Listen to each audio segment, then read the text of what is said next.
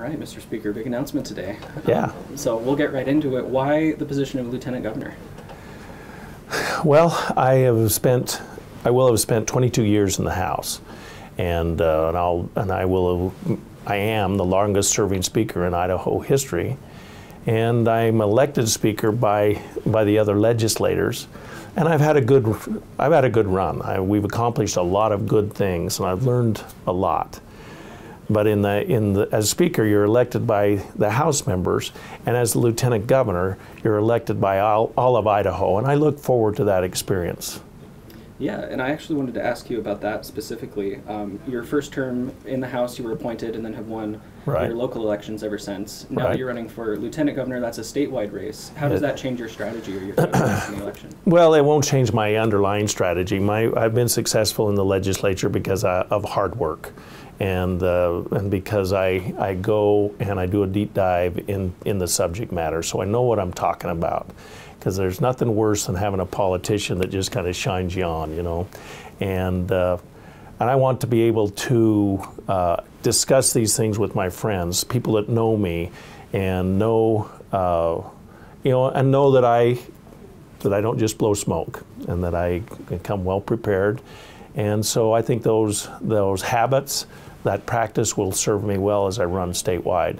The state of Idaho is growing very quickly, and with that growth comes some growing pains. But as we uh, but as we go forward, we don't want to jettison any of the Idaho values that have made us so successful and that make it such a great place to live and to work and to raise our families.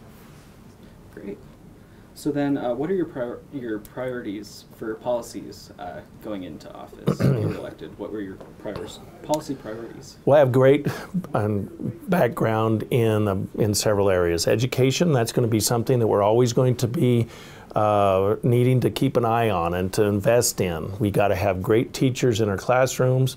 You saw that I have 14 grandkids, all that live in Idaho. All, most of which are in public schools right now, and all of which will be in public schools. I have a, a vested interest in those kids leaving our public schools with a great education.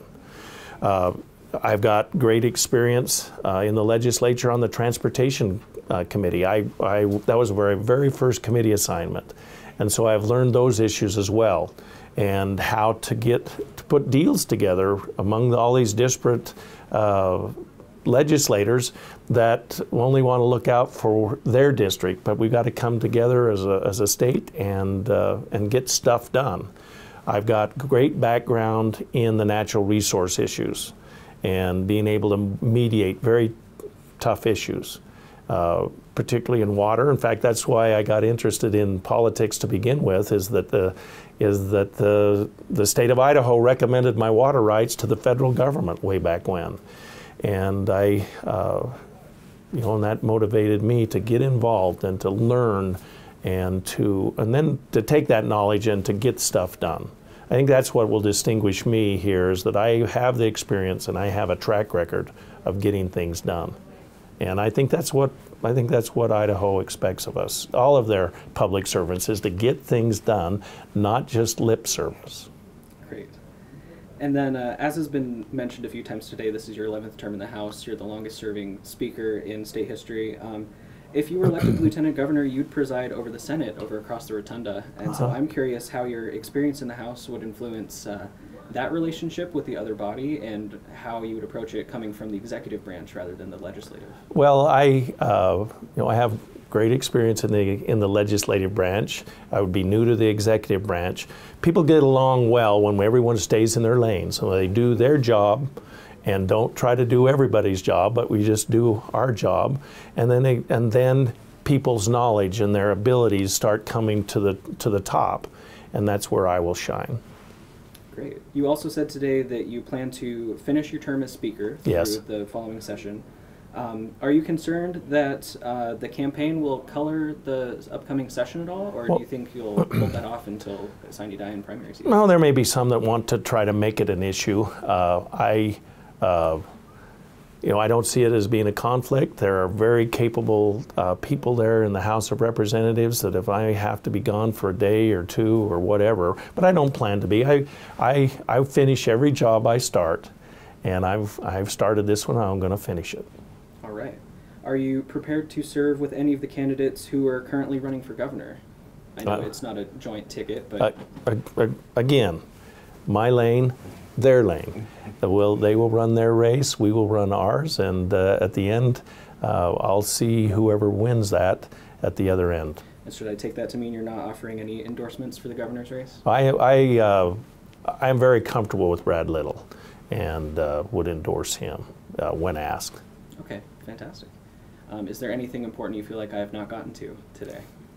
I know it's an announcement day, so we have plenty to talk Is about. that, is that the bonus question on every, Yeah, at yeah. at journal school? They teach us that in school. It's oftentimes results in the best answer. It does. You know what? For 20 years, I've said, no. All right, sure. I, but, but we're, we're uh, again, I think that uh, as we look back on my track record, that I, I've got the experience and the results that uh, will help Idaho going forward. I'm not doing this uh, based on any personal agenda. As I described earlier, our family has been very blessed. We've been here for a long time.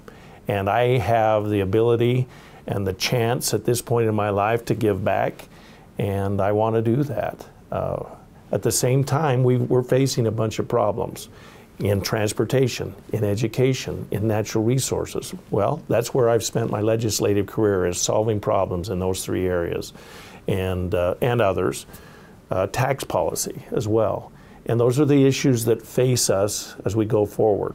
And we so as we as as Idaho grows, we can't let it change the underlying value system that has brought us all here and kept us here and make it a great place to live and to work and to raise our kids.